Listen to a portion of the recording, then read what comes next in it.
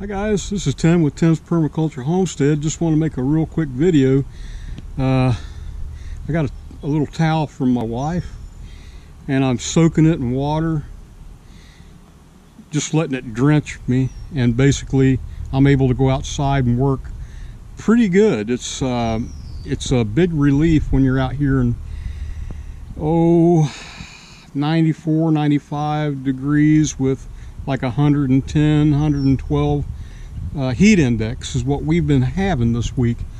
And uh, I just done this today and thought, well, you know, I got to share this. It's just a great way to cool yourself off while you're out working, especially if you're just, you know, cutting the grass on a riding mower or something like that. But I've been out in the back garden, mulching, tying up tomato plants and stuff like that. And uh, later I'm going to get out here with a scythe, cut some more grass.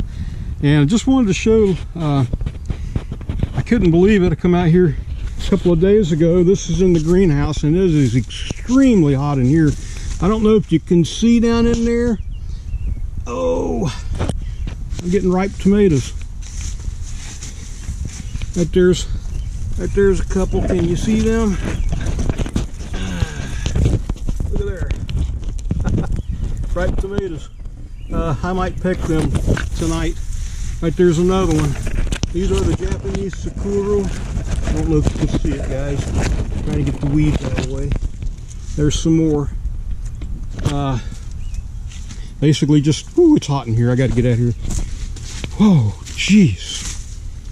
I was in here a little earlier working. Uh, I harvested a lot of the kale seed and I cut uh, some of the branches. I just couldn't stand it anymore. I had to get out of there. It is hot. This is going to be a real short video, guys, but but you might appreciate this. I mean, if you're having to get out and work and stuff like this, this this kind of helps. Really helps. Uh, anyway, guys, have a great week. God bless, and see you on the next one. Bye.